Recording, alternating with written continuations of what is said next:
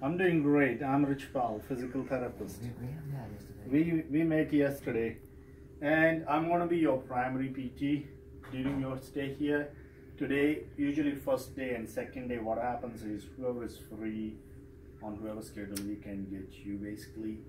Let's get you there, get the evaluation done, get the let's come up with a game plan, and after that, everything just gets on that.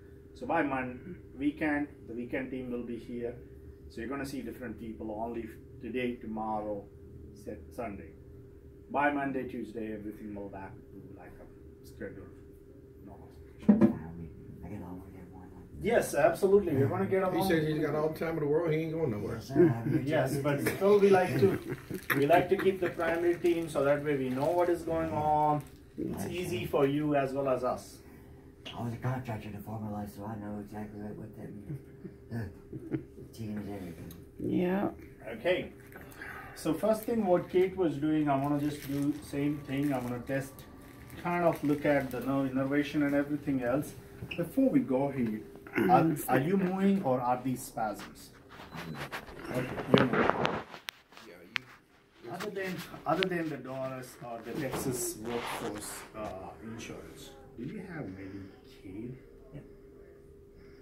Under It's Medicaid. useless though. Under Medicaid, there is a possibility. I'm not saying that it could happen. There are certain people who are able to apply to through the county, and get some kind of uh, CNA help, assistance help at home.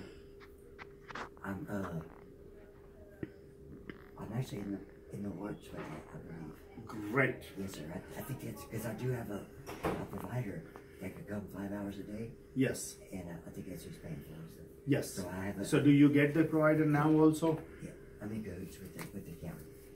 Yes. And I think that they do allow for you to kind of like uh, break it up those five hours like in the morning and in the evening also. So I would utilize it